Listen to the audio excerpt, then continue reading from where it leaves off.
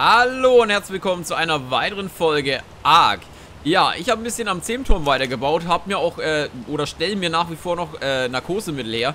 Äh, habe noch eine ganze Menge in der Herstellung gehabt und eine ganze Menge hergestellt. Und zwar, äh, wir werden einmal, ich zeige euch mal kurz den Zähmturm und dann werden wir mit unserem Argentavis einen kleinen Ausflug unternehmen. Und zwar, äh, wir werden einmal ins Wintergebiet fahren, beziehungsweise ins Schneebiom. Und werden uns dort ein bisschen umsehen. Und zwar, die können ich eigentlich mal... Naja, komm, die kann ich droppen. Dann kommen die auch mal hier raus. Äh, was haben wir hier noch? Die können auch weg. Ich bräuchte meine Rüstung. Wo habe ich denn meine Rüstung hin? Äh, Rüstung, Rüstung, Rüstung. Habe ich die hier rein? Nö. Nö, hier ist das Zeug drin. Okay. Hier reingepackt. Irgendwo habe ich meine Rüstung hin. Hier ist sie. Und zwar bräuchte ich die, äh, nee, nicht Lederrüstung, ich bräuchte die Pelzrüstung, die nämlich Wärme gibt. Pelzjacke, äh, dann haben wir hier Stoffhose, nee, die ist es nicht. Dies hier ist die Pelzhose. Stoffschuhe, Stoffschuhe, Stoffschuhe. Äh, Leder, Leder, Leder, normale, ah, hier, die Mütze noch, genau. Das müsste dann soweit passen. Äh, kann ich mir denn eigentlich... Ich habe ja ein paar Rezepte. Was haben wir denn hier überhaupt? Wir haben hier diesen äh, Chili. Brustpanzer, diesen Tarnpanzer. Könnte ich letztendlich in Blau sogar herstellen. Wir haben Sattel. Pachyrinosaurus haben wir noch nicht. Das haben wir noch nicht. Mammoth-Sattel haben wir auch noch nicht.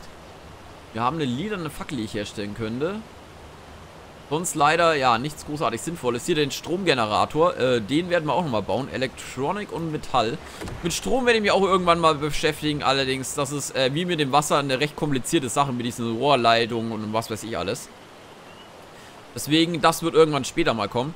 So, wir haben unseren Agentavis, der ist so gut wie leer. Er ist Stufe 60. Wir packen das Ganze nochmal in Tragelast, da ich vorhabe auch natürlich äh, entweder ich nehme mir einen Wolf mit, wenn er einen Wolf unten tragen kann. Und ich nehme auf jeden Fall, äh, ich brauche noch einige Perlenöl.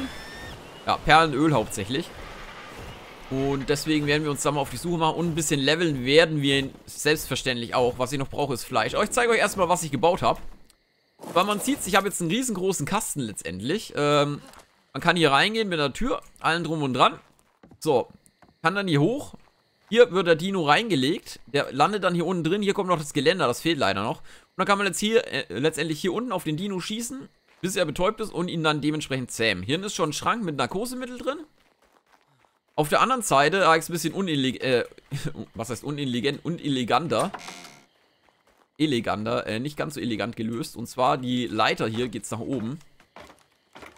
Dann kann man hier hoch, hier fehlt noch ein bisschen was. Ich habe mir ging allerdings jetzt die Steine wieder aus. Und dann kann man von hier oben auch aus, äh, auch drauf schießen. Und letztendlich dann hier den Dino aus dem Tor rausziehen, äh, wenn er denn dementsprechend äh, fertig ist mit der Zähmung. Finde ich eigentlich ganz nett gemacht. Äh, ich glaube, es hat ein bisschen was. Ist auf jeden Fall ein riesengroßes Ding. Ich wollte es eigentlich gar nicht so groß bauen, aber man hat dafür... Ja, man kann den Dino jetzt sehr leicht ablegen und es sollte, man soll ihn ohne Probleme treffen können. So, äh, folgendes, ich wollte jetzt noch, genau, ich brauche noch schnell ein bisschen eigenes Fleisch für mich, das heißt, ich muss schnell noch ein bisschen was äh, grillen, beziehungsweise, machen wir eigentlich schnell hier drin. Zwar, du hast noch tonnenweise Fleisch. Dann habe ich die Klamotten dabei, hier müsste, glaube ich, sogar noch, ne, hier liegt nur noch Holzkohle drin. Äh, hier liegt allerdings noch Holz. Holz, Fleisch, Fleisch und einmal anzünden, bitte. So, dann kann das hier weg. Die Holzkohle lagern wir hier. Hier habe ich auch noch ein bisschen äh, Material drin, allerdings nicht viel. Äh, hier sind noch ein paar Bau... Ah, noch ein Ei, Spino-Ei. Hier sind mittlerweile, habe ich auch drüben gelagert, meine Eier. Ich habe da eine ganze Menge eigentlich mittlerweile davon. Da ich die immer fleißig aufgesammelt habe, wenn ich welche gesehen habe. Äh, hier haben wir noch ein paar Klamotten. Ehrensamen, okay. Alles, was man eigentlich nicht braucht. Was haben wir hier drin? Auch Klamotten. Noch ein bisschen Chitin, okay. Aber sonst auch nichts Spektakuläres. Ähm, wir ziehen uns gleich mal die drei Fleisch, die wir noch haben, ziehen wir uns mal rein. Okay, dann kommen wir hier gleich nochmal wieder her. Genau, wir haben mittlerweile auch einen Frosch gezähmt. Dann schauen wir mal kurz nach unseren Tierchen und dann mache ich mich aber auf den Weg. Wir haben nämlich ein Level Up. Zwei Levels sogar. Äh, wir stecken dir erstmal was in Gesundheit, dass du ein bisschen mehr aushältst. Mir wurde gesagt, wenn ich die hier auf Wandern stelle, äh, habe ich das Problem, dass mir die, die Klippe runterrennen. Das heißt, ich müsste erst das ganze Ding noch einmal umzäunen. Äh, bei Gelegenheit, das kostet wirklich extrem viel Zeit, weil ich eben extrem viele Mauern brauche dafür. Deswegen äh, würde ich das Ganze erstmal lassen und äh, dann irgendwann später mal das Ding umzäunen. Dass die Dinos hier wandern können und selbstständig farmen können. So, wir stecken hier erstmal was in, äh, ja, in Ausdauer auf jeden Fall, in Tragekapazität. Der ist auch schon Level 116. Das Spino hat auch drei Level gemacht. Ja, du kriegst mal was in Trage, darfst du kannst du gar nichts tragen. Der hier ist mega genial. Level 130. Der haut ordentlich rein. So, wir stecken dir mal was in, äh, nochmal eins in Ausdauer und nochmal was in Gewicht. Und mein T-Rex ist, ah, zwei Level immerhin gestiegen. Dir stecken wir mal was in Tragekapazität. Der hier ist mega geil, der ist extrem schnell. So, wir haben allerdings eine, mittlerweile eine ganz nette Sammlung an Dinos. Also so schlimm ist es nicht. Wir haben, oh, wir haben selbst auch ein Level Up. Äh, stecken wir in, ja, da wir jetzt ins Schneegebiet fahren, nochmal was in, ähm, ja, in meine Resistenzen letztendlich. Werde ich brauchen. So, hier haben wir fünf Fleisch. Das müsste auf jeden Fall reichen. So viel Fleisch brauche ich im Normalfall nicht. Wenn nicht, kann ich mir auch im ähm, Schneebiom noch ein bisschen was braten, denn ich habe dort ja eine kleine Hütte gebaut. Nichts Großes, aber immerhin besser als nichts. Und ja, dann machen wir uns jetzt einmal auf den Weg. Da ist ein Parazer mal wieder gefangen. Den zerlegen wir noch. Der hat ja nämlich rein gar nichts probiert, äh, versuchen. Oh, der dürfte, oh, der müsste recht hochlevelig sein.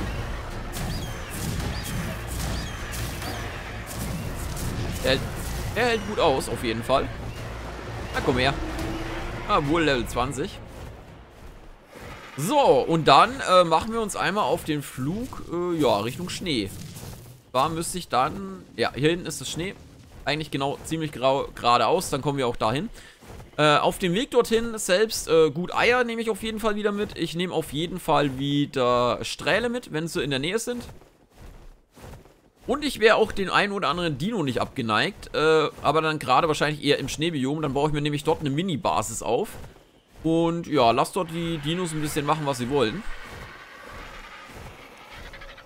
Bergbank und so weiter müsste ich mir ohne Probleme hinstellen können. Genauso wie so in der Schmiede. Ich habe ja alles dabei. Um das ganze Zeug abzubauen. Wir schauen mal, wie lange wir im Schneebiom bleiben. Kommt eigentlich ein bisschen auf die Temperatur an, wie viel ich da aushalte. Äh, ich habe ja die Klamotten dabei, allerdings, ja, unendlich lange helfen die leider auch nicht. Äh, der linke oder ist es der rechte? Ich glaube der rechte. Der hier, oder? Ja. Da muss ich hin. Zu dem hier, da bin ich dann richtig dementsprechend. So, wir müssen einmal kurz zwischenlanden. Äh, der Agentavis kann zwar eine ganze Menge fliegen, allerdings natürlich nicht unendlich. Vielleicht stecke ich da wirklich nochmal ein bisschen was in Ausdauer, die nächsten Level. Er ist ja erst Level 60. Oder? Ja, Level 60 ist er erst. Also er hat da noch ordentlich Kapazitäten. Aber mal wieder ein kleiner Ausflug schadet auch nicht, nachdem wir jetzt die letzten zwei, drei Folgen nur gebaut haben und den einen oder anderen Dino zwar auch gezähmt haben, aber ein kleiner Ausflug ist auch mal wieder drin. Äh, Wald äh, werden wir großzügig überfliegen. Aus Gründen, die vor drei, vier Folgen passiert sind. Äh, ich nehme jetzt nicht an, dass wirklich ganz oben im letzten Baumgipfel irgendwo so ein Dino hängt, der mich jetzt gleich runterhaut. Also wenn er auf dem Baum hochkraxelt bis zur Spitze, dann Respekt. Und dann müsste der Dino auch am Fallschaden draufgehen. Aber das war echt, also Wald ist extrem bescheuertes Biom. Weil die hauen einfach einem wirklich von, ich wurde vom Paracer komplett nach unten gehauen. Oh, das ist ein lila Strahl wurde vom Parazer nach unten geschmissen und war dann letztendlich schon halbtot, weil der Fallschaden halt dementsprechend krass ist. Und ja, dann hat der Dino letztendlich einen Level 3er, klar mit Säbelzahntiger, irgendwas in der Richtung oder Tiger oder was auch immer. Hat mir dann letztendlich den Rest gegeben. Schade, der Liederstrahl ist weg. Den hätte ich gerne eingesammelt. Aber, na gut, wir werden irgendwo schon noch einen finden. Ich hätte gerne mal einen roten. Da müsste relativ gute Beute nämlich drin sein. So, da unten ist ein Spino. Hier sind noch die ein oder anderen kleinen Dinos, aber boah, ich könnte noch ein paar Level machen. Aber ich wollte jetzt eigentlich schnellstmöglich erstmal ins Schneebiom. So, wir ruhen uns mal kurz aus auf jeden Fall.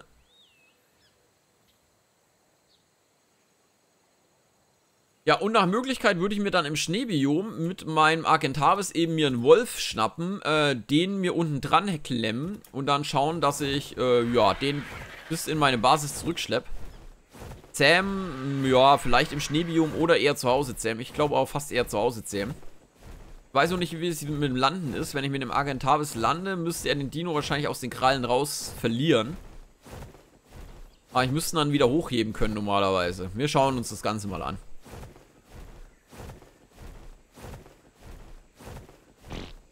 Muss ja nach wie vor noch einiges in dem Spiel dazulernen. Allwissen bin ich nach wie vor noch nicht, aber wir sind mittlerweile auf einem ganz guten Weg, glaube ich. Und mittlerweile läuft es halbwegs in Ordnung. Also ganz so viele Chaosfolgen gibt es im Moment nicht mehr, Gott sei Dank. So, hier ist das mega geile Levelgebiet, denn hier ist schön alles flach. Hier sind extrem viele Dinos. Hier nehmen wir noch den einen oder anderen Dino auf jeden Fall schnell mit. Denn hier können wir sehr viele Level machen, auf jeden Fall. Mit relativ wenig Aufwand. Denn wir hacken hier einfach schnell ein bisschen durch die Dinos durch, fliegen Korb über den Boden, nehmen, den, nehmen die ganzen Dinos mit und kriegen so schnell das ein oder andere Level noch zusammen.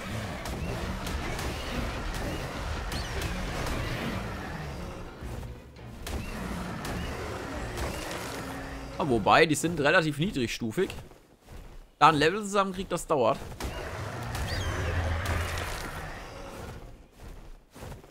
Ah, Explorer Notes. Aber vorher legen wir uns noch mit dem hier an. Der würde mich sonst angreifen, sobald ich absteige. Auch nur ein Level 8er. So, die Explorer Notes nehmen wir mit. Wenn ich schon mal bei denen bin und nebendran lande, dann kann ich die auch mitnehmen. Na, häng fest. Oh, auf das Ding. Sehr schön. Wir werden aber gleich angegriffen, so wie es sich anhört.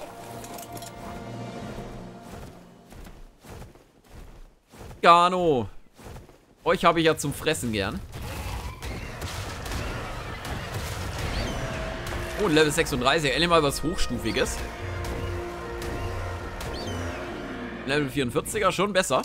So, äh, Level Up. Und zwar in Ausdauer. Wo denn? Ach, schon wieder diese blöden Fliegendinger.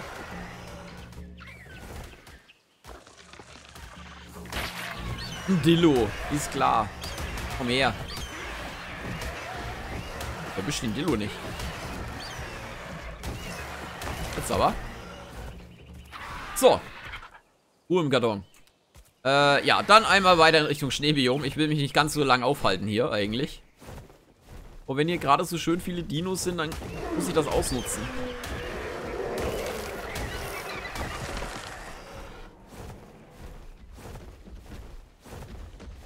Oh, cool. Nashorn.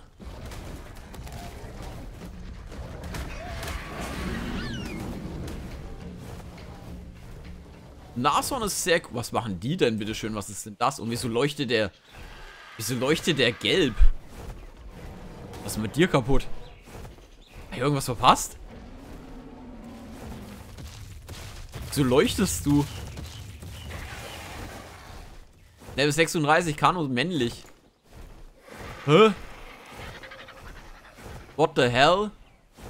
Wow, und was ist das denn?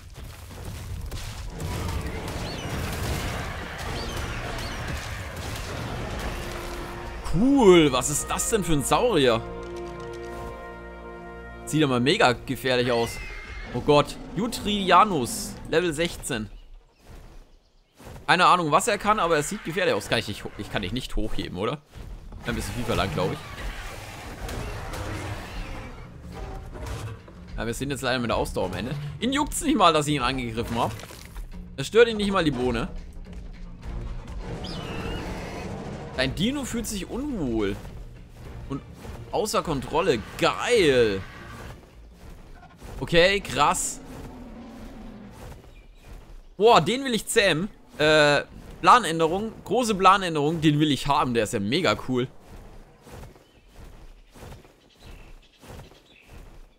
Aber wenn er meinen Dino so einfach erschrecken kann, ist der, der ist ja mega krass schwer zu zähmen. Wo ist er denn hin? Das ist ja ein cooles Viech. Nee, Das ist er nicht.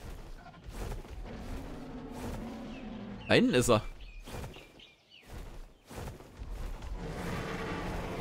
Alter Schwede.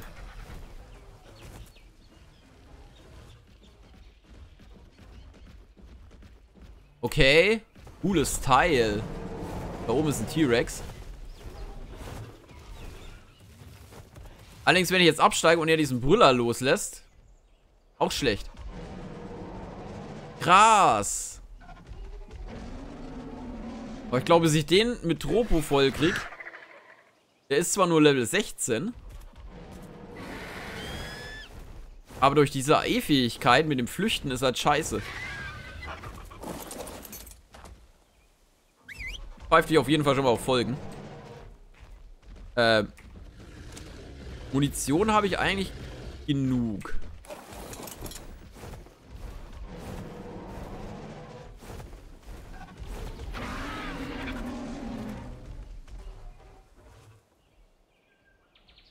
Parken mal da oben.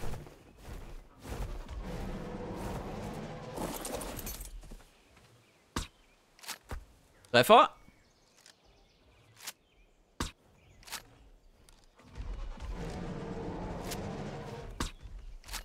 Treffer. Treffer. Nur solange du mit den Dinos da beschäftigst, habe ich eine relativ gute Chance sogar. Treffer. Treffer. Ich weiß allerdings nicht, wie viele Pfeile er da braucht, aber ich habe relativ viele mittlerweile.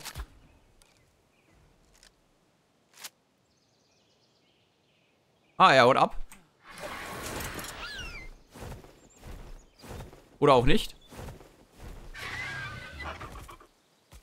Doch, er haut ab. Hinterher! Da ist er. Ist er bewusstlos? Er ist bewusstlos, oder? Ne, ist er nicht.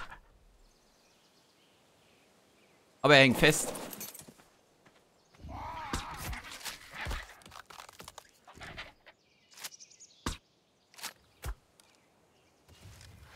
Ich habe ihn bewusstlos gekriegt. Sehr geil. Äh, nee, du. Hier. Ihr legt euch jetzt erstmal mit mir an. Wie, es ist schon wieder wach?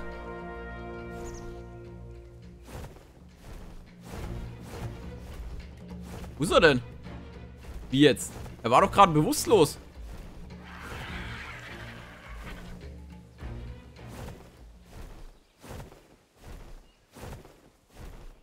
Haben die ihn getötet?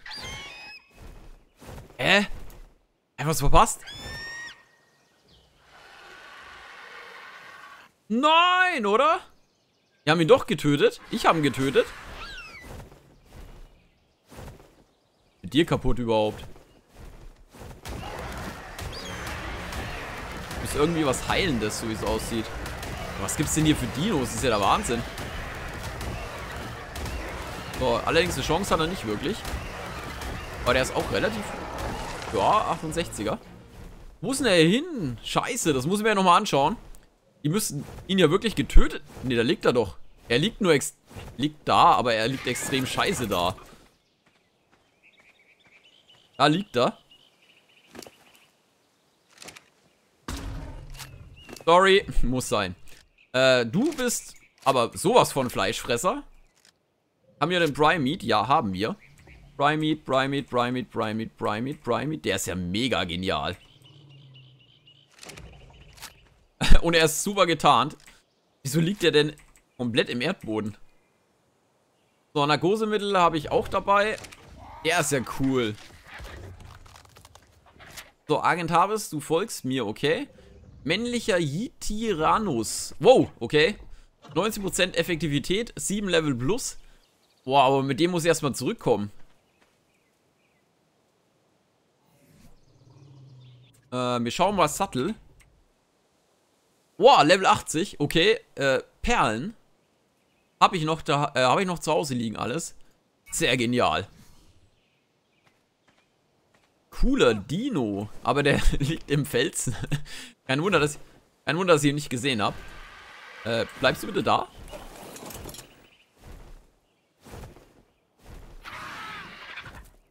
So, unser Agent Harvest hat auch ein Level. Wir stecken das nochmal in Ausdauer.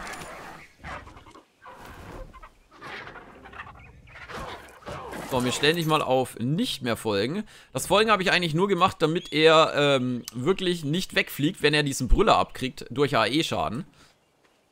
Oh, der ist ja mega cool. Volles Fell, äh, Gefieder. Allerdings für diese Folge war es das Ganze schon wieder von Ark. Ja, in der nächsten Folge, wir werden den auf jeden Fall jetzt erstmal fertig zähmen. Und ja, ich würde mich freuen, wenn ihr in der nächsten Folge wieder mit dabei seid. Äh, und wir bringen dann den erstmal nach Hause. Das wird relativ interessant, glaube ich. Ich bedanke mich fürs Zusehen und sage, macht's gut, bis zur nächsten Folge.